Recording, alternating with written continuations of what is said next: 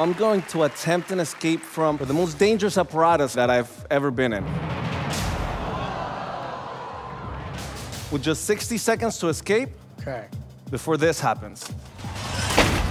Do we have something to soak up the blood?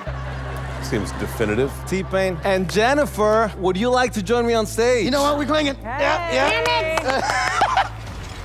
I want you guys to make sure the spikes are legit and solid. Are they real? Cling, cling, cling. Next, make sure the chains are actually attached to the table. Feel free to pull on them. Yeah, yeah, yeah. If it looks good, God. Okay. you'll get to chain both of my arms, Jennifer. Oh. Both of my legs. Jen is handling this very well. Yeah, she seems to know what she's doing. Both of you guys, you can take the keys with you. Okay. You guys, hey, for real, you have the keys? We got the keys. Yep. Okay, let's get ready. Thank you guys.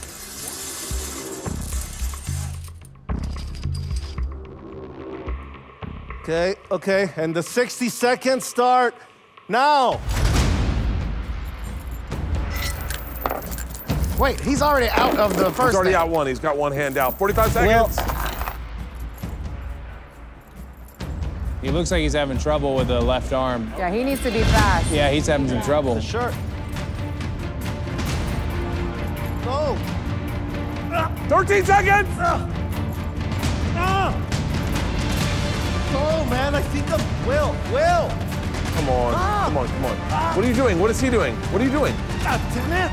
Oh, stuck. Stop. Five seconds. Will, Oh, you gotta, you gotta help me up.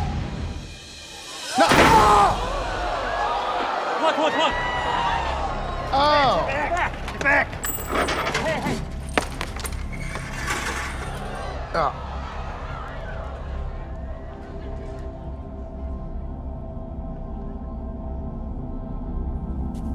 Think he's gonna be okay. Ah! Son of a bitch. I like how my first reaction was, there's no blood. I am upset with him. I'm upset. I love that though. When T-Pain thought you had died, he took the keys and threw them to the ground.